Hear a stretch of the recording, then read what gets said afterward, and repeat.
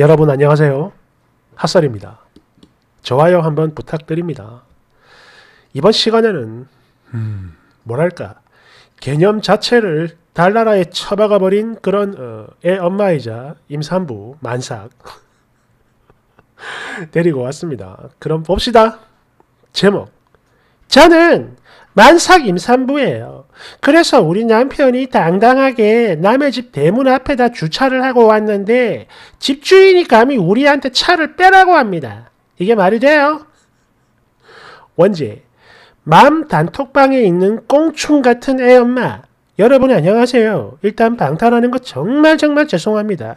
근데요, 저도 아이를 키우고 있는 엄마로서 지금 제가 말을 하고자 하는 이 여자 너무 이해가 안 되고 아니 분명 누가 봐도 이 여자의 잘못인데 단톡방에 올라온 내용을 보면요 이상하게 다들 이 엄마 편을 들어서 대체 이게 뭔 일인가 싶어가지고 글 써봅니다. 참고로 저 여자는 제주도에 살고 있는데요. 제주도는 주택이 되게 옹기종기 많이 모여 있잖아요. 여튼 아니 그런 거 다 떠나서 남의 집 대문 앞에다 주차하면 안 되는 거 맞잖아요 대체 이 여자는 왜 이렇게 당당한 건지 모르겠어요. 게다가 임신한 게 무슨 벼슬도 아니고 누군 안 해봤나? 집주인이 차를 빼라니까 집 배가 불러가지고 밖에 못 나간대요. 특히 피해자인 개인 택시 기사 아저씨는 너무 불쌍한 게 개인 택시의 경우 아무데나 함부로 주차를 못한다고 하네요. 그런데도 이렇게 뻐기고 죽어도 안 나갑니다. 아니 진짜 못 나가는 거면 예를 들어서 뭐 나는 운전면허가 없다 차키가 없다 등등등 그러면 이런 경우라면 정말 죄송합니다. 지금은 이러이러해서 안 되니까 나중에 저희 남편 오면 바로 빼드리겠습니다. 이렇게 사과를 해야 되는 거 아닌가요? 택시기사님 너무 불쌍해요. 저도 애 엄마지만 이런 개념 없는 애 엄마들 때문에 꽁충 소리가 생기는 것 같아요. 거기다 다들 이 여자한테 동조하며 편을 들고 있는데 아우 진짜 너무 이해 안 되고 그래서 다른 사람들 생각이 궁금해가지고 그러려요. 참고로 힙합맨 꽁꽁꽁이 바로 문제의 그 여자입니다. 여러분들 생각은 어떤지 말씀해 주세요. 잠깐 상황 설명을 드리겠습니다. 어, 택시 기사는 나이가 좀 많은 아저씨 같아요. 어, 그리고 상대방은 어, 이제 아기 엄마 만삭 임산부고 남편이 주차 그 집에다 주차를 해버리고 어, 딴 데 술 마시러 갔답니다. 음. 어 누구세요? 저 전화 못 받아요. 아이고 그 자동차 문도 안 잠그고 요요 저 차 좀 빼주세요. 예? 저희 차 문 열어 보셨나요? 저 지금 만삭이라 밖에 못 나가요. 우리 남편은 약속이 있어서 나갔고요. 예, 그 노크 해보니까 문이 열리고 지금 우리 집 앞에다 세워놨는데 아니 이럴 거면 좀 차를 바짝 붙여가 세우든가 에? 이렇게 세우면 어떻게 해요? 옆집도 골목에 들어가야 되고 내 차 세우려면은 그 옆집 차고를 막게 됩니다. 그 남편분 언제 오실라나? 제가 그 대문 앞에서 기다리고 있을게요. 아이고 비도 많이 오는데 그 어디 가가지고 차를 세워야 됩니까 아니 그래도 함부로 남의 차 문을 여는 건 좀 아닌 것 같은데요? 그리고 잘 통과할 수 있게 세웠다고 했어요 저희 남편이 앞에 차가 지금은 뭐가 세워져 있는지 모르겠지만 저희는요 세울 때 애초에 잘 세웠다고요 뭐예요? 지금 비꼬시는 건가요? 그게 내가 개인 택시인데 개인 택시는 차를 그 아무데나 못 세웁니다 그러면요 저희는 지금 비 오는데 어쩌라고요 저는 운전 불가예요. 남편은 언제 올지 모르겠고요. 그리고 애초에 그 도로가 사장님 거라는 증거가 있나요? 그 옛날 그 동네 집이라서 다들 그 자기 집 앞에다 세우잖아요.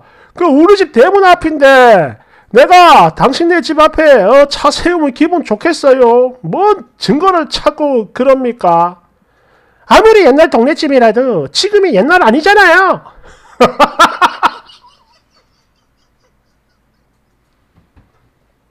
저희는요, 차를 아무 데나 세워도 그런 감정 없는데요? 왜 오버하세요? 비가 오든 눈이 오든 다른 차가 세워져 있으면 그냥 늦었다 하고 다른 곳을 알아보시든가. 어? 이 늦은 시간에 전화까지 하면서 차를 빼달라고 하신 분은 나는 살면서 못 본 것 같아요. 그리고 노크를 해서 사람이 없으면 당연히 주차가 돼 있는 거 아닐까요? 개념 없어요? 차 문을 열어볼 게 아니라 노크해서 열렸다는 말씀은 무슨 말씀인지 모르겠어요. 그, 그, 옆집에 그 아저씨 올까 싶어서 대문 앞 차 안에서 내가 기다리고 있을게요. 그 남편 오는 대로 빼달라고 하세요. 아니 남편이 와도 못 빼요 사장님. 술 약속한 거라고요. 안 올 거야. 어이, 그, 그렇게 마음 쓰면 정말 그 야속한 사람입니다. 아니, 어떻게 이래요? 지금 비꼬시는 거 맞죠? 먼저 마음 좋게 쓰신 거는 사장님 쪽 같은데요? 집 대문 앞이니 세우지 말라는 법은 우리나라에 없잖아요. 그 말하는 거 보니까 그 당신들도 차고지가 없나 본데 그래요. 집은 사장님 거겠지만 그 앞에 있는 도로는 아니잖아요.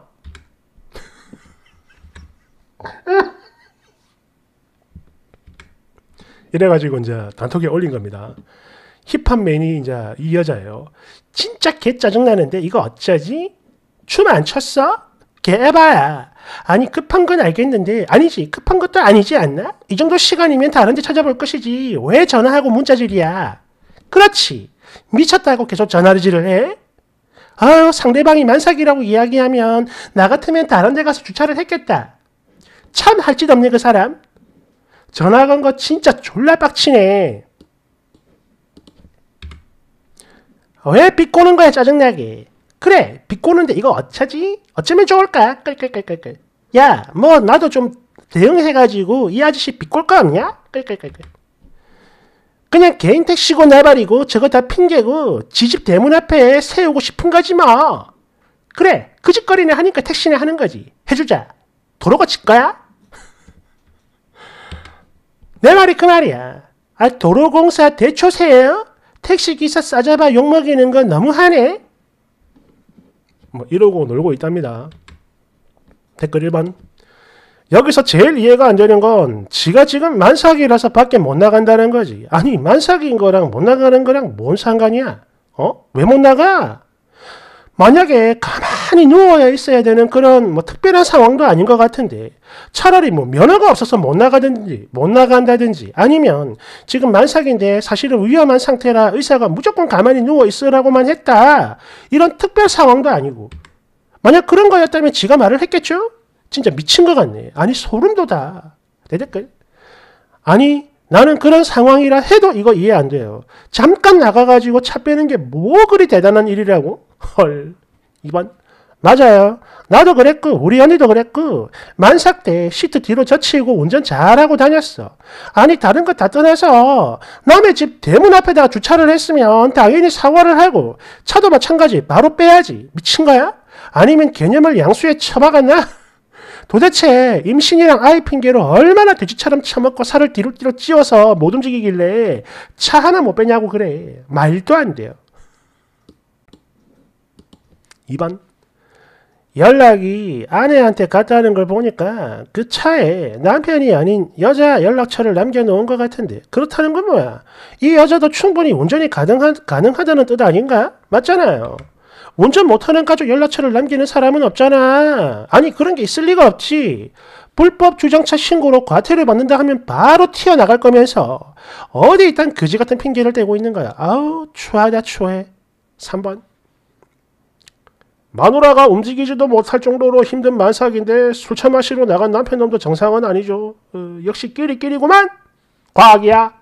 4번. 와 미친 보자마자 육성으로 쌍욕이 튀어나오네. 아니 도대체 부모한테 뭘 보고 배우며 자라야 인간이 저떤 거지 같은 사고방식을 할 수 있는 걸까? 어? 저런 것들이 애를 낳아 키우니까 개망나니가 나오는 거야. 인성 거지 같은 것들끼리 북치고 장구치고 난리가 났네. 단체로 신한 염전에 쳐 넣어버리고 싶다. 5번.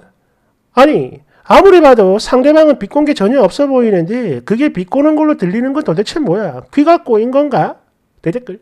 저건 귀가 아니라 내가 꼬인 거죠. 깔깔깔깔깔. 6번. 개인 차고지 만들 돈도 없어가지고 남의 집 대문 앞에다 개념 없이 주차를 하는 게 감히 남의 취급을 비하하고 있네. 딱 봐도 수준 오지게 낮은 애들 모임으로 보이는데 쓰니 괜히 같이 어울려 다니다 같은 수준으로 취급당하지 마시고 지금이라도 얼른 탈출해 나오세요. 거기 있어봤자 딱히 이득 볼 것도 없어 보이는구만. 뭐하러 있어? 나와 얼른. 7번 여초 집단은 바로 이런 게 문제죠. 이성적인 사고를 하기보다는 그저 지들 감정과 그리고 공감, 유대감이 훨씬 더 우선이다 보니까 이런 짓거리 하는 애들 기가 더 살아가지고 막 나대고 그래. 끌끌끌. 대댓글. 오, 이렇게 센 댓글에 반대가 하나도 없는 게 너무 신기하구만. 같은 여자들도 개념 없는 짓으로 애 엄마들 욕먹이는 저런 부류들은 확실히 싫어하는 게 맞구나. 끌끌끌끌. 8번. 아니, 남의 집 앞에는 주차 안 하는 거 이거 국룰 아니야? 9번. 저런 게 다 결국 애 엄마들 그리고 애 키우는 부모들 그리고 자기 자식들이 피해를 보게 만드는 행동인 거죠. 이런 것들이 조금씩 생기고 또 그게 계속 쌓이다 보니까 노키즈 존이라는 것도 생기고 맘충이란 말도 생기고 게다가 애들 자체를 싫어하는 사람도 생겼을 거고 또 애들 데리고 돌아다니는 부모를 안 좋게 보는 시선도 생기는 겁니다. 그렇다면 뭐냐? 결국 자기 자식들이 피해를 보는 건데 겨우 이런 생각조차도 못한다는 게 참 한탄스럽네. 어이구. 10번. 아니 세상 어떤 미친 인간이 남의 집 대문 앞에다가 주차를 하냐? 진짜 양심 개 터졌구만.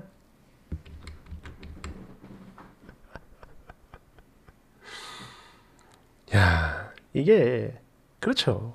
뭐 그뭐법 떠나서 도의적으로 남의 집 앞에 대문 앞에 특히 대문 앞에 차안 대는 건 뭐 국룰인데 얼마 전에 저희도 그걸 한번 당했거든요. 저희 집은 그 대문 앞에 아예 저희 땅 그 주차 라인이 하나 그려져 있습니다. 그 위로 길이 지나가요. 즉 저희 주차 라인 안에 차를 대면 아무 상관없는 겁니다. 그또 저희 땅이고 아내가 밖에 일을 보고 왔는데 누가 우리 집 차, 한마디로 우리 차고예요. 차고에 차를 대놓고 전화를 한 번. 이런 사람들이 있다니까요. 어, 참 깝깝합니다. 깝깝해요. 어. 왜, 왜 이러는 걸까요? 어. 아무튼 막 그렇습니다. 감사합니다.